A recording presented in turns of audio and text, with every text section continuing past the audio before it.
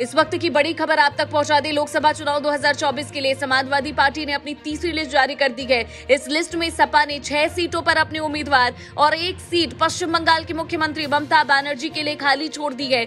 सपा ने Bhadohi seat, TMC के लिए खाली छोड़ी है। इसके साथ ही सपा ने नगीना सीट से भी अपना उम्मीदवार उतारा है। सपा ने अपनी तीसरी लिस्ट में बिजनौर से यशवीर सिंह, नगीना से मनोज कुमार, मेरठ से भानु प्रताप सिंह, अलीगढ़ से पूर्व सांसद ब्रजेंद्र सिंह हाथरथ से जसवीर वाल्मीकि लालगंज से दरोगा सरोज को अपना उम्मीदवार बनाया। इसके साथ ही सपा ने भदोही से तृणमूल कांग्रेस के लिए खाली छोड़ दी है। लिस्ट भी हमने आपके सामने रखी है। जैसे ऐसे लोकसभा चुनाव पास आ रहे कल डेट के भी ऐलान हो जाएँगे, वैसे ही तमाम पार्टियाँ जो है, लिस्ट जारी करती हुई नज़र आ रही है और अपने सबसे ताकतवर उम्मीदवारों को पक्की सीटों से उतारती भी नज़र आ रही है।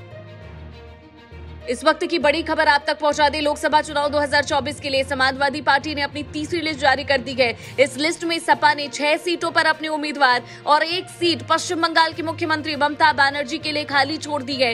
सपा ने भदोही सीट, टीएमसी के लिए खाली छोड़ी है। इसके साथ ही सपा ने नगीना सीट से भी अपना उम्मीदवार उतारा है। सपा ने अपनी तीसरी लिस्ट में बिजनौर से यशवीर सिंह, नगीना से मनोज कुमार, मेरठ से भानु प्रताप सिंह, अलीगढ़ से पूर्व सांसद ब्रजेंद्र सिंह हाथरथ से जसवीर वाल्मीकि लालगंज से दरोगा सरोज को अपना उम्मीदवार बनाया। इसके साथ ही सपा ने भदोही से तृणमूल कांग्रेस के लिए खाली छोड़ दी है। लिस्ट भी हमने आपके सामने रखी है। जैसे ऐसे लोकसभा चुनाव पास आ रहे, कल डेट के भी ऐलान हो जाएँगे, वैसे ही तमाम पार्टियाँ जो हैं, लिस्ट जारी करती हुई नज़र आ रही है और अपने सबसे ताकतवर उम्मीदवारों को पक्की सीटों से उतारती भी नज़र आ रही है।